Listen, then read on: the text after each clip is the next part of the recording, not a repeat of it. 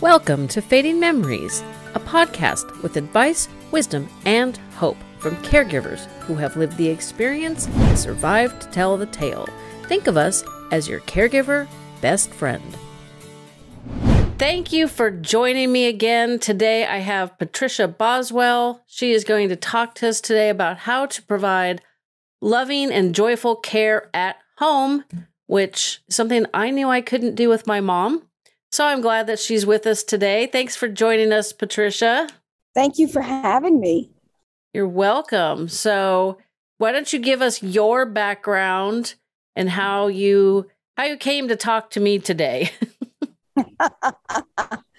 well, let me just tell you my background is uh, is nursing and business and I incorporate it all the time. But my nursing part has a lot of history you don't have a lot of time, but let me just say this. In the last 12 years, I focused on home care, hospice, and during that period of time, I was able to focus on Alzheimer's and dementia, a clientele, and doing a lot of observations within the home and looking at how people are living with the disease, but also how they've been planning and not planning for the disease because they sort of see the disease is here, but everybody's in denial about the disease and what the person is saying, doing, and how to not have a crisis, but they're already in crisis. yep. Most of us do not plan for that kind of golden years, to say the least. And I just want to point out Patricia is in her backyard in New York. And so you get the added benefit of the beautiful bird sounds in the background today. So. Yes, I love I love my backyard. I do all my flowers, my planting. I have someone who does my grass and my greenery, but I design my yard every year differently with flowers and all. And I've sort of cut back on some of the flowers because now I'm calling it the retirement yard because it does take a lot of work and I'm very busy.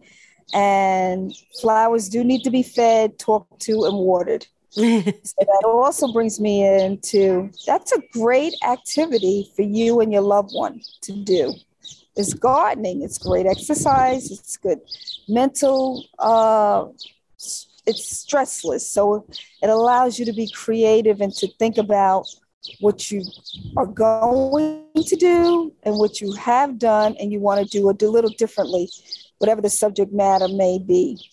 So yes, I have a lot of birds and they're sort of probably spoiled because I have several uh, feeders for them.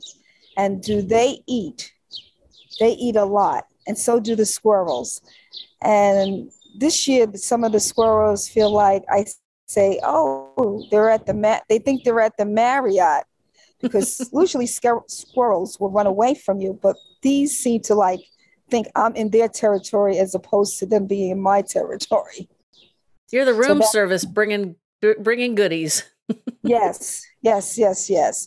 So getting back to why I took this on, and we came about because I wrote a book called Caregiving with Love and Joy An Expert's Guide to Home Care with Someone Who Has Alzheimer's and Dementia. So, with that being said, we came about because you saw my book and you were very curious about it.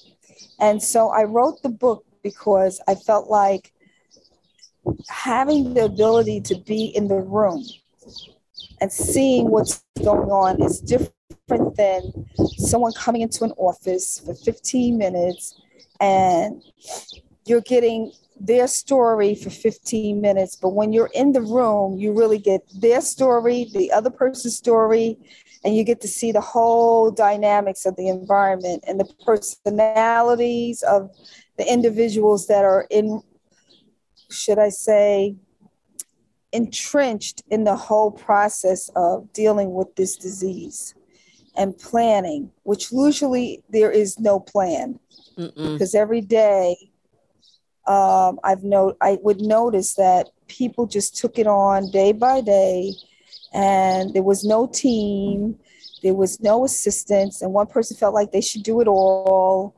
When and then they take it on, and then they realize they can't do it all. But meanwhile, they've pissed everybody off because when everybody wanted to help, they thought they could do it all, and now they have no one. And the person that suffers is the person who's the family member with the disease. Yeah, that's true. Because most people don't, most people think it's about them instead of the person they're supposed to care about. Am I right or am I wrong? In a lot of respects, yes. I I've I've dealt with people who they, you know, mom or dad or spouse is um you know, they're they're having struggles. So you make some adjustments. And the next thing you know, you're up to your eyeballs in taking care of them and their needs and you have not put into any you haven't put a system in place to help take care of your needs so that you can maintain your own d- dreams and desires and needs. And i just i see so many people get sucked into a hole they don't know how to get out of. So that's why i wanted to talk to you because i'm like how do we avoid giving up our entire life be- to caregiving? Because my mom was 74 when I became responsible for her and I had just turned 50. So I was not the least bit interested in you know the thought that she could live if she li- had lived as long as her mom um math's going to be a struggle. My grand my maternal grandmother lived with vascular dementia till 91 so what is that 17 years? Yeah, I was not particularly interested in spending 17 years of post raising a family and you know, I was still working, but it was like, you know, at some point it was like it's time for me to be able to do what I want and I was not the least bit interested in in giving up everything for my mom. And I think that's what happens to a lot of people. So how do we avoid that? How do you avoid that? I think and I don't want to say think, I know that what we all need to do is understand health and how to advocate for ourselves and advocate for our loved ones when they can't advocate and putting a plan together that everybody knows they're going to become elderly and no one focuses on that third of their life they focus on everything and then everything before that, but they just think, oh, I'm going to get old. But that's a process that needs to be taken care of. Whether you have a lot of money or no money, there's still, if you have not enough money, there's still a lot of resources that people do not tap into. And if you have a lot of money, because I've seen both ends, sometimes the people that have a lot of money don't use their money wisely for their care or use any money for their care because they don't want to spend the money on their care and they don't have the proper care and it just it's just it's just a terrible sight to see when you know someone can be doing it better and differently. Yeah my dad did that. My dad was hesitant to do anything. Like i he was he had his own chronic illnesses and he was tired because he didn't let my sister or I help, which was problem number one. So I researched, you know, an adult day program, did I did all the legwork. All we needed to do was the three of us go and check it out in person. This is obviously pre COVID. And he just flatly refused. And I never understood why. I mean, it it wasn't was cheap. for himself? It was for my mom. Oh, this is okay. Yeah, so that he had time off because right. his his patience with my mother was like nil. She would ask a question, he would answer it. Yes. And then she would ask it again and he'd snap the answer at her like she was supposed to remember. Which ugh, that used to make me crazy. so I thought, you know, you're you're tired. He didn't have to keep answering her. That's the thing. He didn't have to keep answering her because she didn't even remember that he wasn't answering her. That is so right. that's why it's important that we educate us. It's very important to educate ourselves on this disease because right now, I always say to people, couples, one of you are going to have it. So you need to talk about it early on on what you're going to do. And you can't do it by yourself. And there's programs and there's day programs too depend, that are depending on the community that might not cost you what you think it's going to cost you.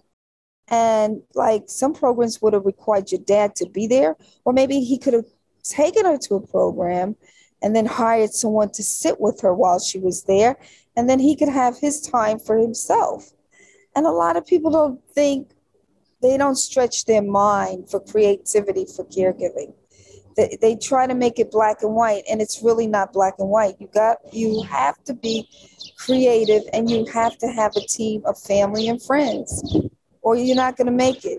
Whether you know, I just think caregiving at home is stressful Mm-hmm. Alzheimer's, dementia, caregiving, it's even stressful, stressful because you're thinking for that person and they're declining, and every day is a different day. It's never the same. And they can't make decisions for themselves. You'd be surprised. It seems like they can make decisions, but they can't make decisions. No. And you have to know when to let go. And you know, don't and not to get frustrated because now you're making the decisions for a person that was probably in a let's say in a relationship making 90% and now they're making 60% and you're not you haven't figured out that there's an issue and there is an issue. So that's my take on why it's very important to have a balance because if you keep that speed up as they're declining and then you're making 80% of the decisions, you will be going as nutty as a fruitcake. You will not have time to talk to anybody. What a reg- you won't be able to have a regular conversation with anybody because you're spending so much time with caregiving. Because mm-hmm. not only will it become more mental for you to, to be caring for this person, but it becomes more physical because they, as they're declining, you're also starting to see a physical decline in what they can do for themselves. Did you see that with your mom and your dad? Um, well, because of my dad's chronic health issues, he was just getting tired and just just wrung out, which was completely understandable. My sister would make um basically slow cooker meals. She and a girlfriend would get together and make a variety of meals that were then in a freezer bag and they shared them between the three households my sister, the friend, and my parents. So, my dad, who was an atrocious eater and an even worse cook, my dad was the kind of person that would, you know, he was in a hurry, so he would just turn the burner up to high. Anybody that knows anything about cooking knows. like that. yeah, it's it doesn't work. It, it would be nice if it worked, no, it but it doesn't. doesn't work. it makes it worse. It doesn't work. And they, no. my parents ate a ton of processed food because when my mom became unable to make meals, he was he didn't have the desire or the energy to step up and learn how to cook better and make better meals. Um, now this was between 2005 and 2000. He died in 2017. So we we know a lot more even though that's, you know, 2017 is not that far back. We know a lot more there's a lot more, you know, podcasts and and books and there's there's a lot more ways to learn cuz he did have a couple of books and I read them both and one of which is very popular and I just find it very depressing. So I I always recommend the ones that I think are better. So I'm not going to mention the the popular book. Everybody probably has it anyway. I think reason why I have my book because that book is very depressing. she knows it's what I'm talking about. I don't want to knock anybody else's book, but you know, the reason I started this podcast is because you can only read so much and then it's like you got to put things into action and you know, if you're taking care of somebody at home, you may not have time to get through a whole book to figure out what may or may not work. So, one of the things I always tell people is when you get a diagnosis or when you suspect there's a problem, Make a list of every all your responsibility, every all the tasks you got to do today. All of the tasks you need to do this week and all the tasks that need to get done every month. And then write down a list of everybody you know local, not local, because there's there's things people can do even if they're not in the same town. But also, and this is the crucial part, write down what you think their best task is. You know, I can provide Right, meals. talk about that. Yeah, I I could provide meals. I could drive places. That's you're right. That's where I talk about how to put that whole team together in the book. But I also talk about, you know, not just having the team, but when the team is available to do all these things, what you should be doing with yourself, and that's self-care.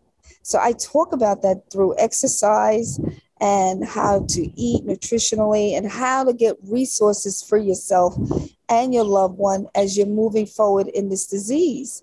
But also at the same time, the activities that you can do to help that person stay on task. And when I mean stay on task, that they're balanced with a routine because they need a routine so that they can go to program. Because if they're not on a routine, and the, you know the, the program will call you wait too long to put them in a program.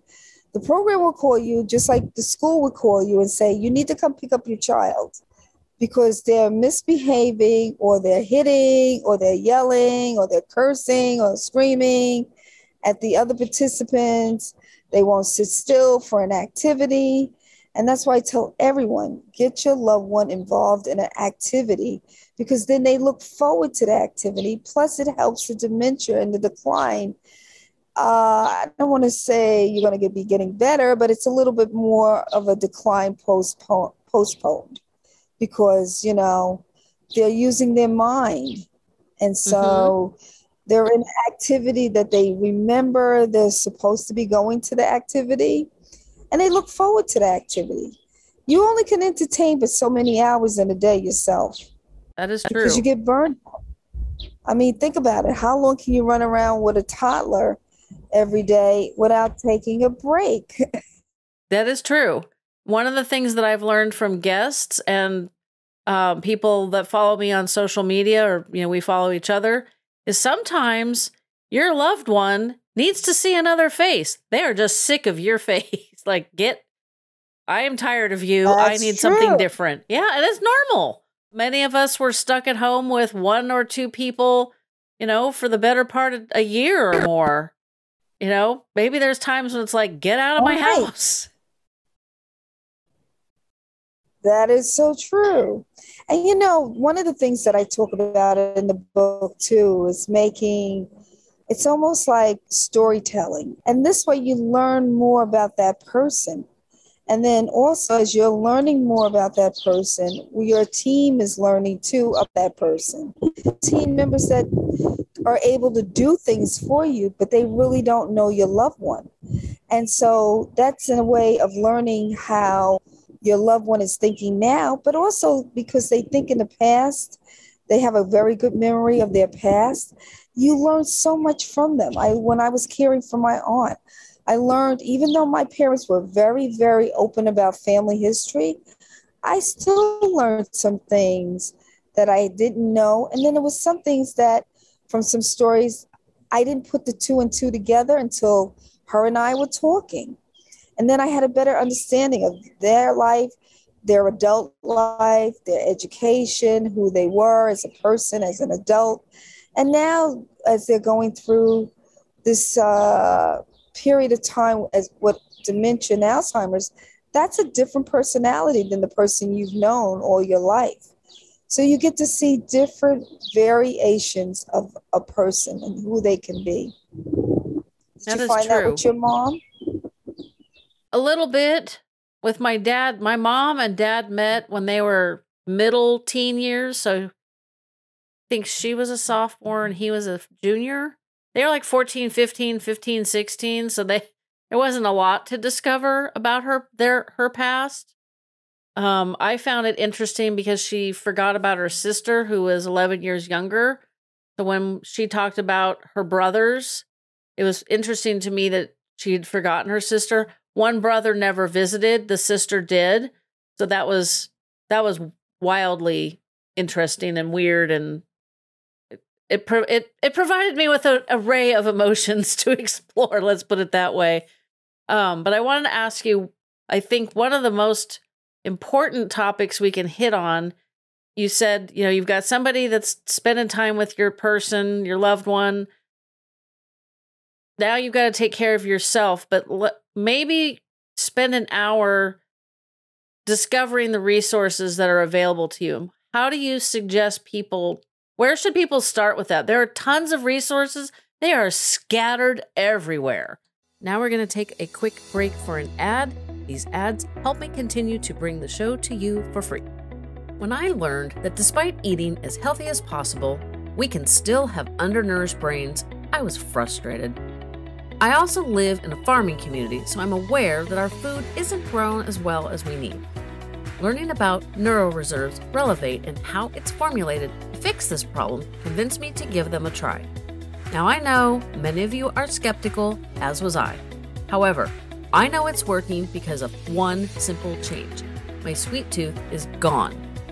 I didn't expect that, and it's not something other users have commented on, but here's some truth.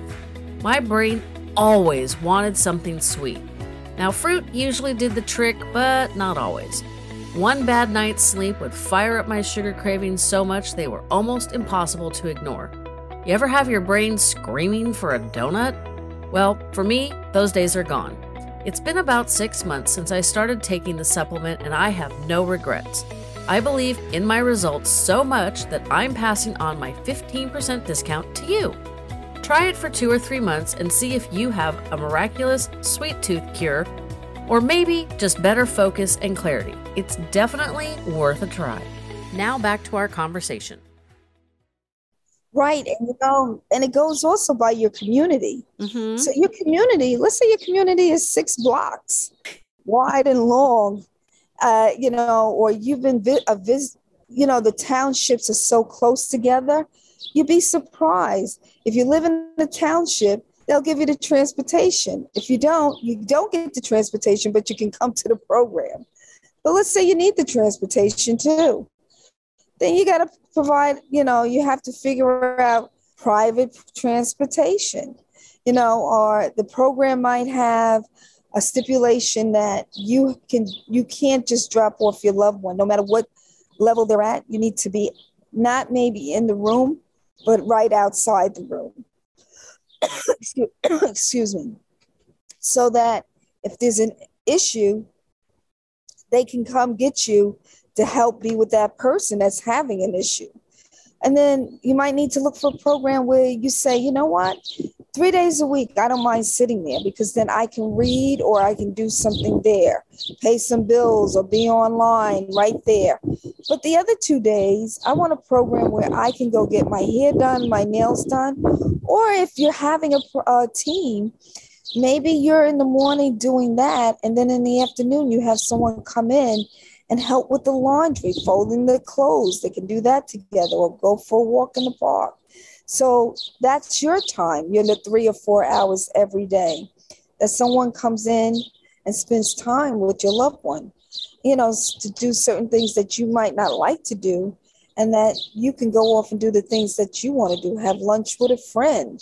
And that's because with this disease, you have to plan your time as much as possible and have people involved early on because then your loved one, even though they might forget that person's name, they will know that person when they walk in by their voice or just the mannerism. Something about that person will click mm-hmm. when they walk in, even though they might not recognize the face or they might not recognize the name, but they, you know that something is clicking there. And I'm sure you've seen that with your mom. Actually, I would always take my mom from the memory care. We'd go, we predominantly would go to the park and watch kids because that was made her happy. It was the the least stressful, easiest activity to get her to participate in because I tried all the things and she would not there were things she would do in the community she refused to do with me, which I still don't understand, but that's that was the reality. But my mom was her name was Diane, and she befriended two other Dianes, which was confusing enough for those of us with uh, you know, working brains. But I would um I would take one or or one or e- one of the other Dianes with me, not infrequently, and the the gal that we referred to as other other Diane. So she was the second one befriended. Um, in the beginning, she was so like with it, for lack of a better term. I thought she was a visitor. I didn't realize she was a resident, but she progressed very quickly. And it got to the point where she would look at me and say, You look familiar. Do I know you? And I'd say, Oh, yeah, I'm here with, you know, my mom. I'm here with her. Um, you know, and I, I would say something as a general reminder of like kind of placing me in a general sense, not like, my name is Jennifer and I'm Diane's daughter. That was way too much information. I'm like, yeah, I'm here visiting her. And I'd point at my mom. And she'd be like, no, that's not it. It was so funny. We had that conversation every week until she, I think her visual processing must have gotten bad because then she just stopped even noticing me, which was kind of sad. But, you know, it just, it was really interesting that, you know, the residents that got really comfortable because I was there all the time and I was always doing fun things. You know, I, my mom and other Diane, which was the first one she befriended, I would paint their nails and she, she was a kick. She was so much fun, this other Diane, and she could still read, which I found fascinating. Um, but she got really super paranoid. And yeah, that's one of the, you know, signs that's one of the side effects of the disease. But you know, listening to you, did your father pass away before your mom? Yeah. He passed away March of 2017 and she passed away March of 2020. We got to we got to uh, miss all of the trauma and drama of having a loved one in a community during COVID, which was great because I think I would have lost my mind.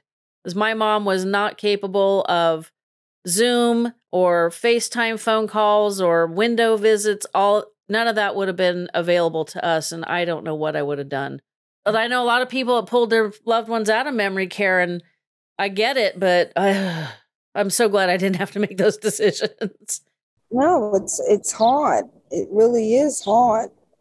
But one of the questions that I do have, did your father pass away, you think, from the stress of being a caregiver? Yeah. He was diabetic he had a kidney transplant in Mar- March is a, is a month for us. March of 2009. Um, it was a live donation from somebody he knew, and I don't still don't understand why, but he he just continued on the path of I'm going to eat what I want and die happy. Trust me, that is not how it ended. And I think he was also on 26 different prescriptions because every time he had a side effect, they'd give him a new drug instead That's of right. stepping back and evaluating, you know, because, and, and I blame the medical profession with this more than my dad, but still, you know, the. That's why you have to be able to advocate for yourself and have a good advocate person who's going to these different doctor's appointments because my aunt was on oh, I would say maybe 12 or 15, 12 to 14 pills a day. Oof. And I couldn't understand it. And so I talk about this in the book too. But I got her down to like four pills a day, like two in the morning and two in the evening, something like that. Which is manageable. Like when and my was, dad. Technically, it was really technically three pills, but two of them, one of them she was taking twice a day.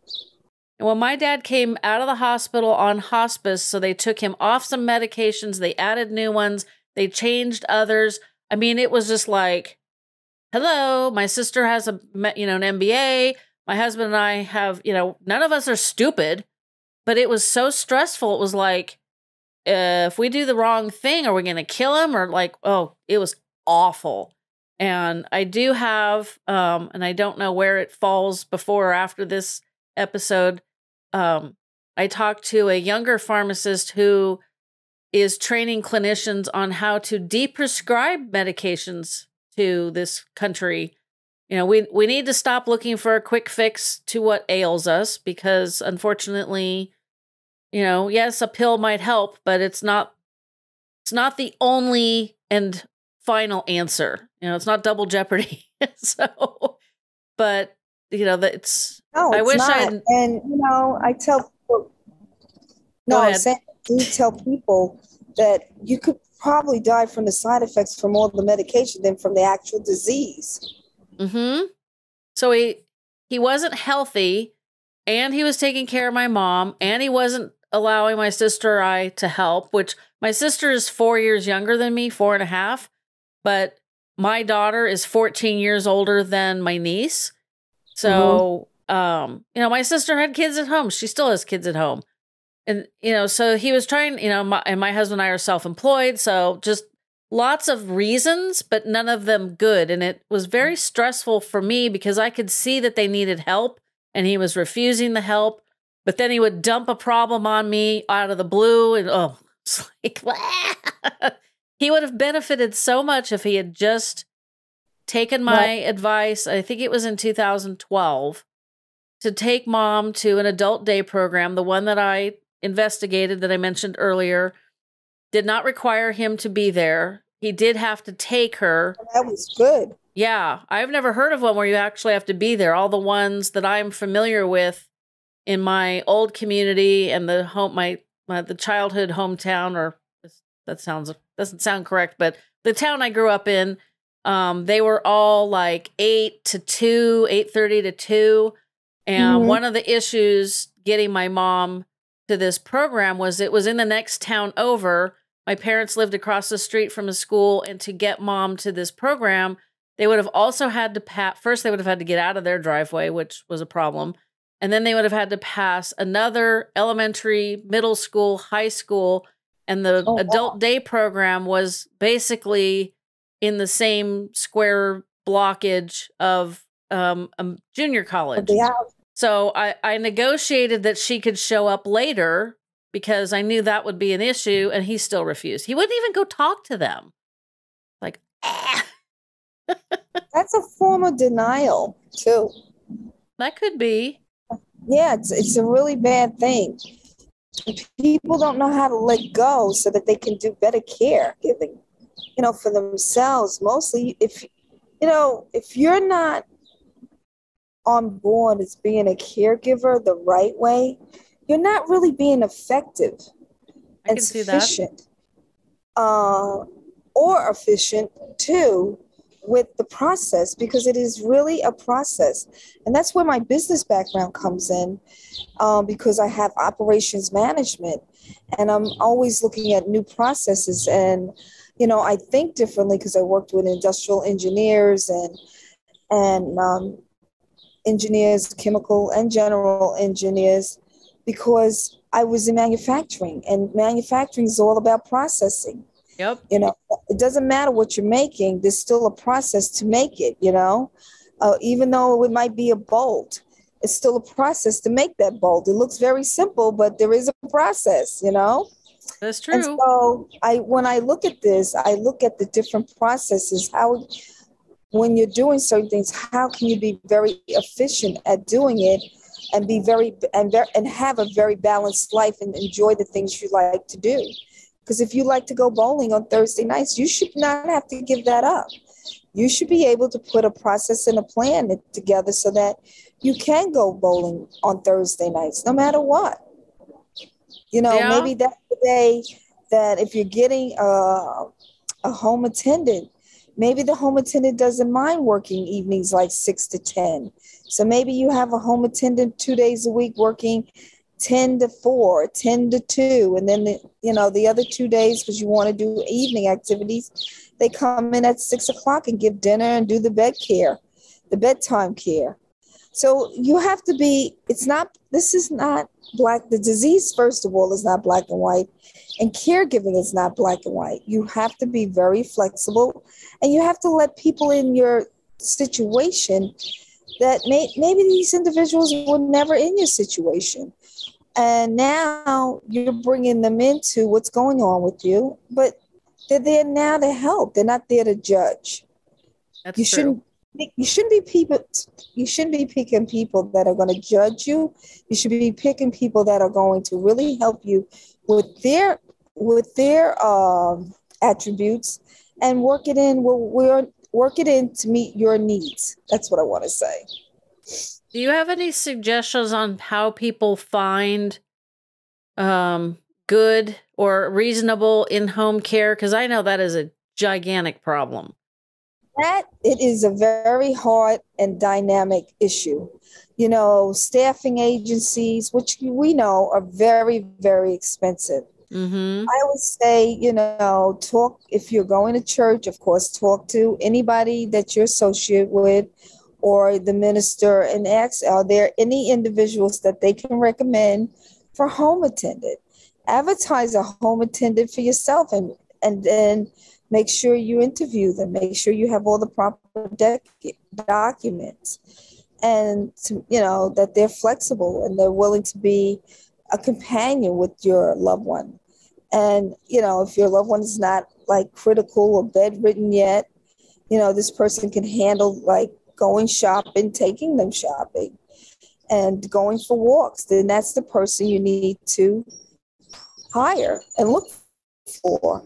And you'll be surprised networking with anybody that you know, maybe they know someone. Know, and but for home care, you definitely have to have the right personality. And some people bring people in and then they don't, you got to manage that person just like you were managing someone at work. And they're in your home, you're not expecting any kind of craziness, but you can't also expect them to think, oh, let me go clean the bathroom because the, the person that is my client uses the bathroom. You have to let them know that that's their responsibility, keeping the bathroom clean every week, or you know, helping my loved one wash his or her dishes after the, we have you have a meal. So you have to set the parameters of what you're expecting of that person. And I was just talking to someone last week, and they were feeling guilty because they had someone coming in because their loved one had dementia but they were feeling guilty about spending time for themselves. And I was like, that's crazy. Absolutely crazy. Everybody's got to have a moment to themselves. Yeah. And to feel like they can move forward, they can rethink. Yeah, if you don't take time for so, yourself, you're gonna you're gonna lose it at the worst possible time. Right. So when you're looking at these resources, I always say go first to your community. What does your community offer? Do you have a community council? Do you have a health community council? Because every community is made up differently. So you need to go to the one person first to pinpoint. And then I also talk about the Alzheimer's Association. They are everywhere. So you should be able to call them in to give you some assistance too. It depends on what kind of assistance you need and what you're looking for at that at that time.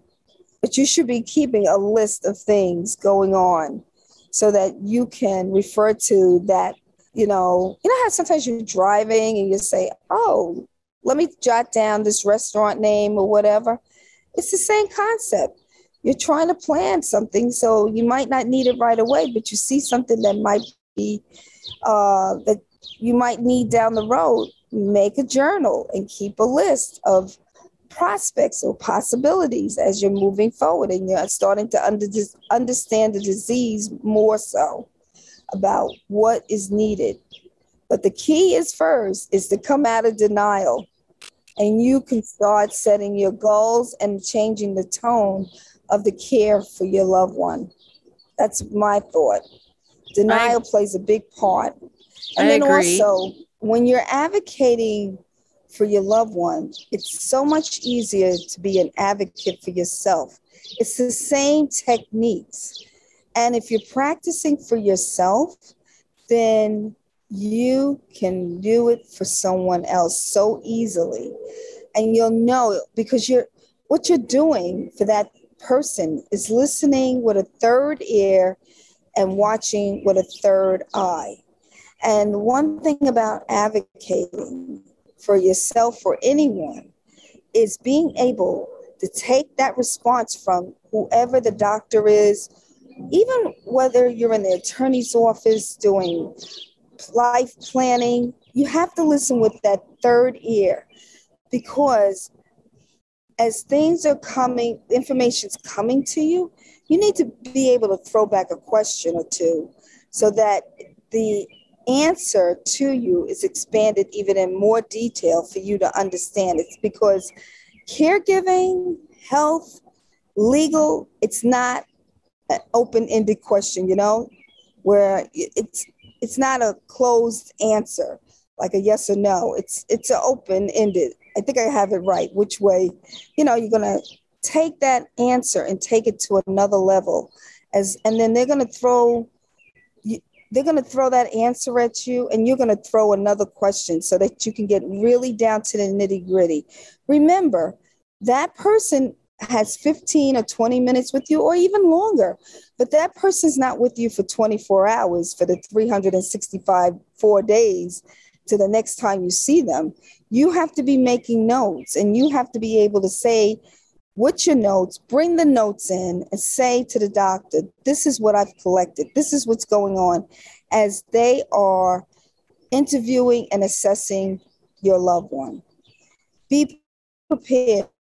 That's what having a binder. I don't want to say, you know, if you put all this stuff together and if you get the book, you will see how I have made it so easy for you to be an advocate, to be self cared for, how to, to get your resources, how to, and it's a book that you keep referring to. You read it, but you keep referring to it. How to keep the right proper clothing for your loved one at certain levels. It is really a very informative, informative book that you really need to purchase because you're not going to just read the book one time.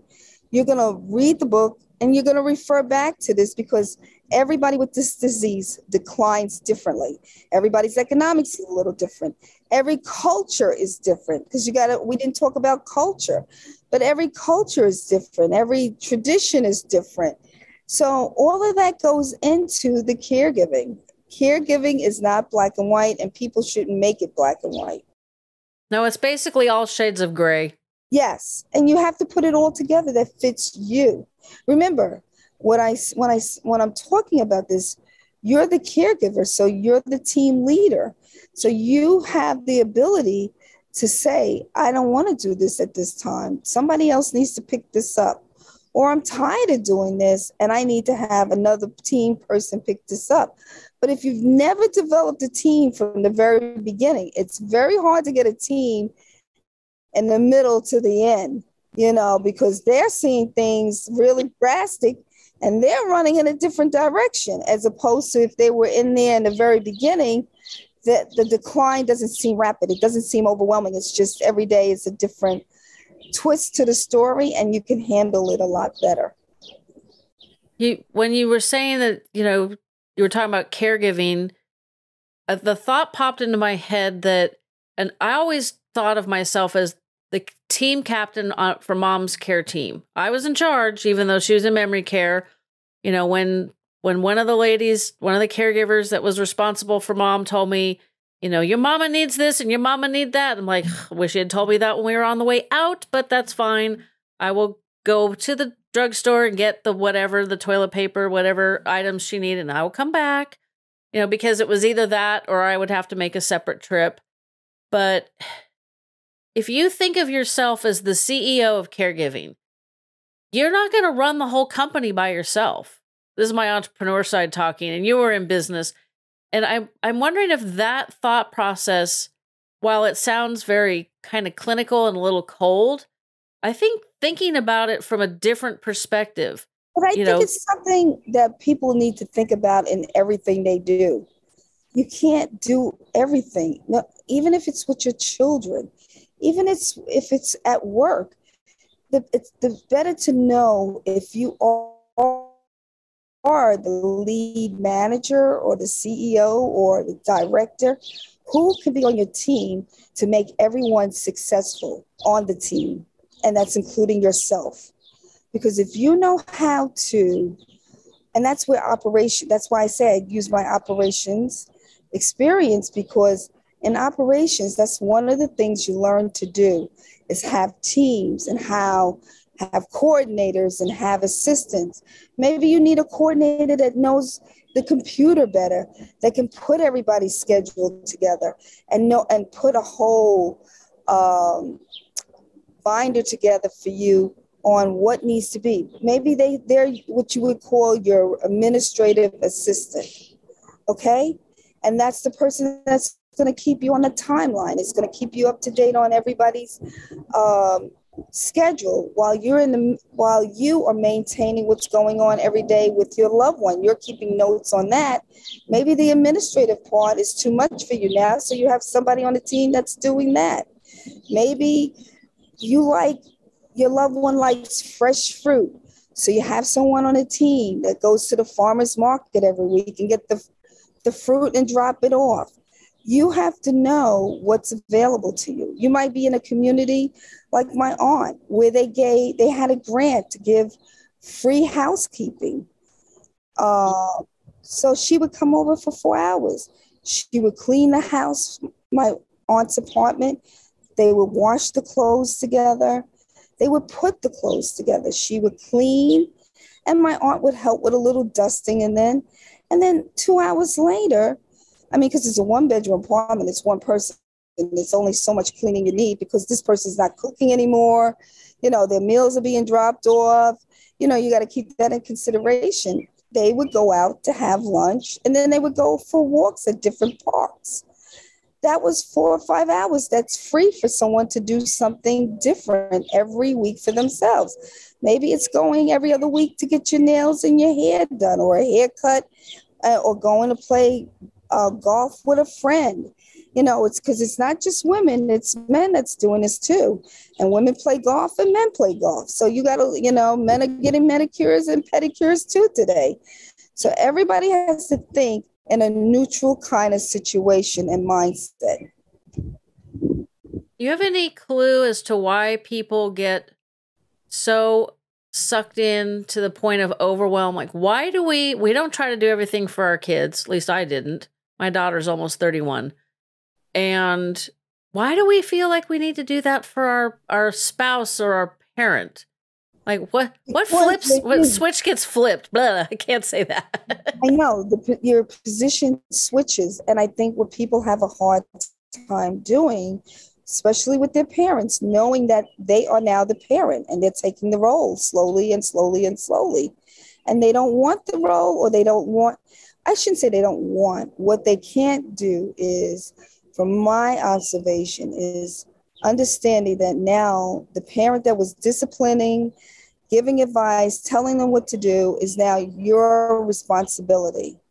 And believe me, they want it to be your responsibility because they're so confused. So it's stressful for them. And that's why I say they pick a person they think in the beginning they can totally rely on and at times manipulate because they still have their memory. And so they need that person to cover up on certain things and be their defense. You know, I think yep, I played that role. Yeah. And everybody else is on the sideline saying, mm, this does not make any kind of sense here. Why isn't she taking this approach? And they are they're seeing things differently. So my thought process is it's in the beginning, it's a denial of, with the person that's now seeing that they're having mental issues. So they still want to keep the control of the independence that they have. So maybe what you would say the person that they're relying on is the weakest link in a lot of ways because they're the person that's going to cover up for you in the beginning. And they're the one, they're the individual that might stay in denial longer when everybody else is seeing there's an issue and they're making excuses for you. But that's what that person wanted in the first place because they wanted to keep their independence for as long as they could. Putting a care team will help you help them maintain their independence. Yes. But it all comes down to us educating ourselves before the disease hits. So that when it does hit, it's not overwhelming. Why is it happening to me? Because the way the statistics shows, if you're a couple, there's a chance that you, one of y'all, are going to have it. And then the stress will bring on, if you don't plan this properly, because I've seen this over and over, either the loved one passes away, or maybe six or seven months after the loved one passes away, the spouse or the loved one now has signs of dementia from all the stress and being confined, you know, without a routine for themselves, except for someone who has dementia. So we all have to look at this differently and educate ourselves before it actually happens. That's definitely true. yeah, that is true. Yes. What I would like people to understand is that when you're preparing to go to graduate from high school, you go through kindergarten through 12th grade and you're preparing yourself, whether it's for college, a trade school, to go to work, there's skill sets you're learning along the way. And that's what needs to be done with this caregiving, especially when someone is at home. And like you said, you are the CEO, even if your loved one is in a, a caregiving situation, because you have to manage that facility and the employees that are working there about your loved one and who that person is. And maybe you know that a social activity that's posted on a calendar will not work for your loved one. We can't have that activity. We need to do this activity with this one, with my my mother or my father, because you know playing cards is agitating to them, but doing a puzzle is re- relaxation for them. It's more creative. You know, it's not confusing. So you just need to find out and then also find out what they like.